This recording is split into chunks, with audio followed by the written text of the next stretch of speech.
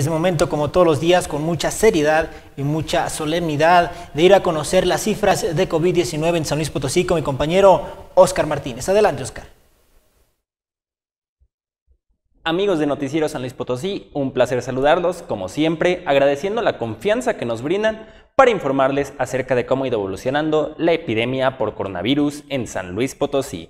Para este día se reportan 192 casos confirmados. Es una cifra algo, algo baja si se toma en consideración que al día anterior se reportaron casi 300 casos confirmados. Se muestra de nueva cuenta esta irregularidad en la epidemia que se ha venido denotando en las últimas semanas, pero que sobre todo deja en evidencia que la epidemia ya viene en descenso, lo cual son noticias positivas, pero sin embargo no hay que relajarse no hay que romper con las medidas sanitarias, puesto que el hecho de la relajación podría provocar bien un rebrote y por consecuencia tener que volver a empezar de cero con el confinamiento y todas las medidas necesarias para controlar la transmisión. Esta situación de que hayamos reportado para el día de hoy 192 casos nos lleva a que lleguemos hasta los 15.100 contagios hasta la fecha. Cifra elevada y que además es de llamar la atención, puesto que el día de hoy hemos llegado a los 15.000 contagios, lo cual representa que en tan solo 5 días tomó de tiempo para poder alcanzar esta cifra, diferencia total a lo que se venía presentando anteriormente, en lo cual llegaban a tomar de 2 a 3 días para que pudiéramos avanzar de mil en mil, pero afortunadamente esto es un indicio de que la epidemia de a poco se va ralentizando. En el tema de las defunciones, para el día de hoy se reportan 24 lamentables defunciones que se suman a un acumulado que ya raya en las 1026 víctimas hasta la fecha. Pasando otro tema, para el, otro tema, para el día de hoy les presentamos el ranking general de cómo ha ido avanzando la epidemia por los municipios en torno a los contagios y a las lamentables defunciones.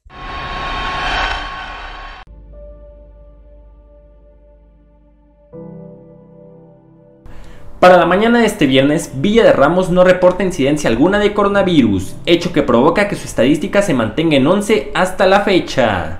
Sus números tan bajos han sido fiel reflejo en su jurisdicción sanitaria, puesto que ocupan el último lugar de la misma. En lo que respecta al Estado, este hecho también se ve notablemente marcado, dado que forman parte del sótano general, específicamente en el sitio 51. En lo que respecta a las defunciones, su historial de la epidemia arroja cuatro lamentables decesos. En contraste, Villa de Reyes sí ha tenido una crisis a causa del COVID-19 muy activa. Bastaría mencionar que hoy añadieron cuatro nuevos contagios que se suman a un total que raya en los 77 afectados. Es de destacar que desde mediados de junio y a la actualidad sus números comenzaron a detonar de forma acelerada, volviéndose así un invitado frecuente de los informes técnicos que a diario presenta la Secretaría de Salud e incluso repuntándole a otros municipios de su sector, logrando posicionarse así en el tercer peldaño, tan solo por detrás de lo acontecido en Mezquitit de Carmona y Santa María del Río. Para la entidad representan el 0.51% del total y ocupan el lugar 18. En el corte de muertes, a causa de este enemigo silencioso, también han sido protagonistas, reportando hasta 15 pérdidas vitales y colándose así en el top 10 de este rubro, con el noveno peldaño en su poder. Para Noticiero San Luis Potosí, Oscar Martínez. Bueno, ahí les presentábamos la situación que ha venido aconteciendo tanto en Villa de Ramos como en Villa de Reyes.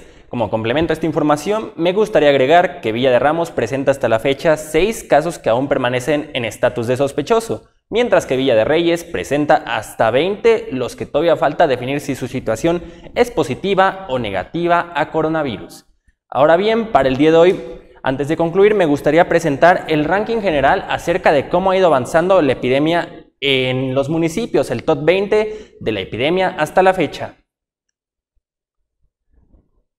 Arrancamos con San Luis Potosí, que tiene hasta la fecha 6.274 contagios, seguido por Ciudad Valles con 2.570, Soledad de Graciano Sánchez 1085, Tamazunchale 990, Matehuala 885, Río Verde 367, Gilicla 227, Atzcla de Terraza 199, Tamuín 168, Ciudad Fernández 156.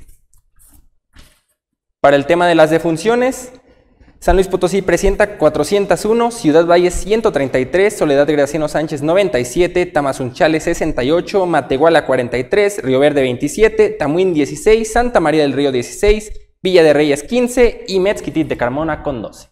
Con esto concluimos el informe. Muchas gracias.